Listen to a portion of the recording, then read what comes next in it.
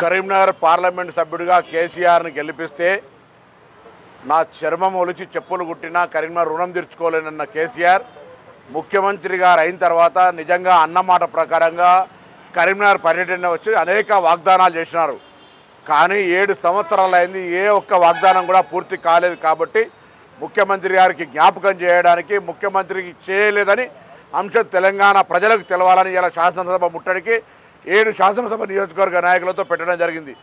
దీని ద్వారా ముఖ్యమంత్రి గారు ఒకటి తెలియజేస్తా ఉన్నాం.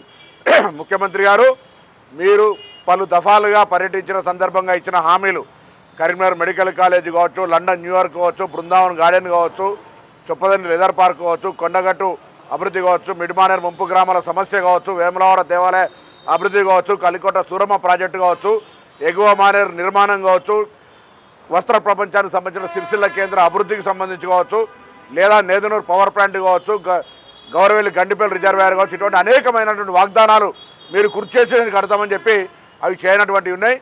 అందుకే వాటిని వెంటనే మేము కోరుతా ఉన్నాం. ఈ సమస్యలన్నీ పరిష్కారం చేయడంతో పాటుగా కరీంనగర్కు అనేక రకాలుగా అభివృద్ధి చేస్తున్న మాటలను జ్ఞాపకం చేయడానికి నిలుపుకోమని చెప్పడానికి ఈరోజు ఈ నిరసన కార్యక్రమం చేస్తున్నాం. దీని ద్వారానైనా ముఖ్యమంత్రి గారికి కనువిప్పి కలిగి కరీంనగర్ ఇచ్చిన హామీలు అమలు చేస్తారని ఆకాంక్షిస్తా ఉన్నాం.